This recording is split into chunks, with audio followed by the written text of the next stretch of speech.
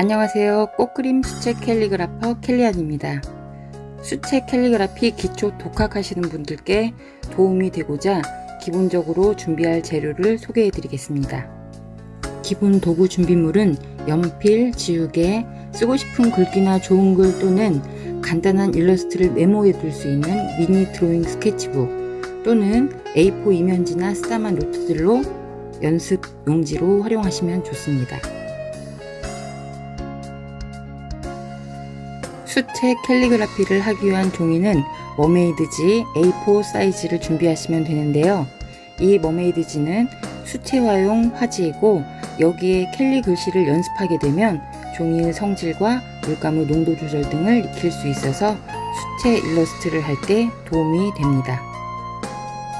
물감은 진한 수채 물감 20색 정도를 준비하시고 팔레트에 비슷한 색 계열의 색감을 배치해서 짠 후에 3, 4일 정도 굳은 후에 사용하시면 되겠습니다. 붓은 화홍 수채용 미니붓 25, 35, 45를 준비해 주시고 물통은 투명 플라스틱 일회용 커피잔을 활용하시면 됩니다.